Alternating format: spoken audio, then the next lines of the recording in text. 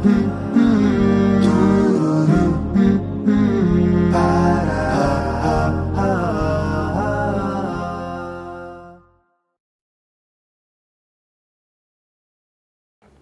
عليكم ورحمة الله.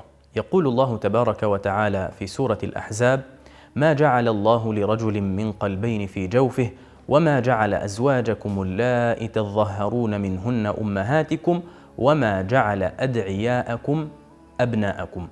الأدعياء جمع دعي وهو من تبناه الرجل وادعاه لنفسه وكان ذلك شائعا عند العرب حيث كان الدعي ينسب لمن تبناه ويتوارثان ويجري عليهم كل ما يجري على الأب وابنه لصلبه من الأحكام فجاء الإسلام فنهى عن هذا وأمر أن يدعى كل إنسان لأبيه الذي هو من صلبه فقال تعالى ادعوهم لآبائهم هو أقسط عند الله. وقد كان النبي صلى الله عليه وسلم قد تبنى زيد بن حارثة وكان ينسب إليه فيقال زيد بن محمد عليه الصلاة والسلام. فلما جاء هذا الحكم نسبه رسول الله صلى الله عليه وسلم لأبيه وصار يقال له زيد بن حارثة. يقول الله تبارك وتعالى قد يعلم الله المعوقين منكم. المعوقين المثبطين والمخذلين وكأن اشتقاقه من وضع العوائق أمام من يهم بالعمل تثبيطا لهمته وتخذيلا له حتى يفتر عزمه.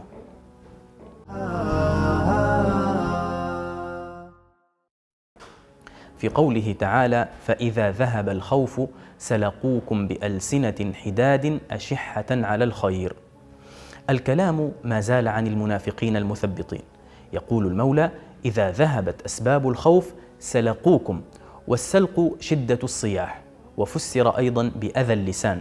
والمعنى أنهم اكثروا من ملامتكم على التعرض لخطر العدو وعدم سماع نصحهم في موادعه المشركين ومسالمتهم.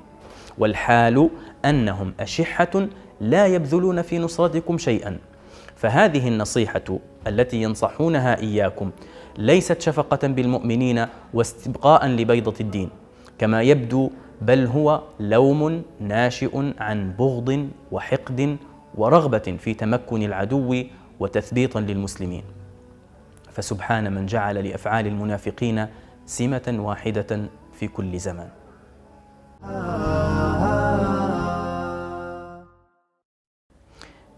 يقول الحق سبحانه وأنزل الذين ظاهروهم من أهل الكتاب من صياصيهم. ما هي الصياصي؟ الصياصي جمع صيصة وهي الحصون التي يمتنع بها ساكنوها. وأصل الصيصة قرن الثور ونحوه. قال الشاعر فأصبحت الثيران غرقا وأصبحت نساء تميم يلتقطن الصياصي أي يلتقطن القرون لبيعها. وكانوا يستعملون القرون في مناسج الصوف كشوكة الحائك. فلما كان القرن يدافع به الثور عن نفسه سمي المعقل الذي يعتصم به الجيش صيصة والحصون صياصي.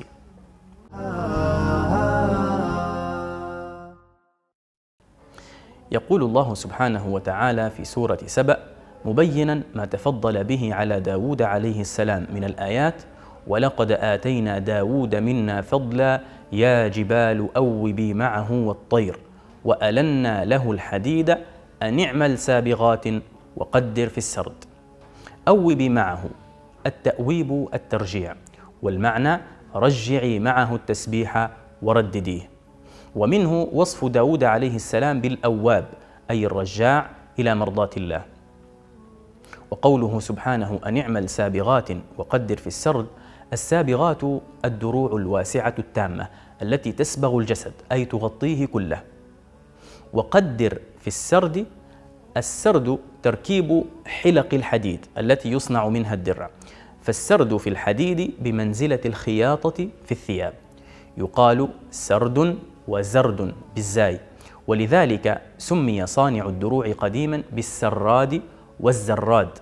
ومن هذا أي استعماله بالزاي قول المعتمد بن عباد آخر ملوك إشبيلية وقد رأى نهرا يتموج ماؤه يقول صنع الريح من الماء زرد أي درع لقتال لو جمد.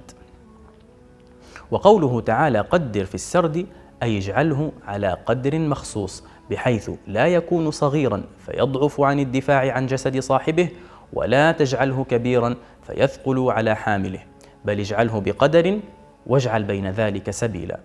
والله أعلم. والسلام عليكم ورحمة الله.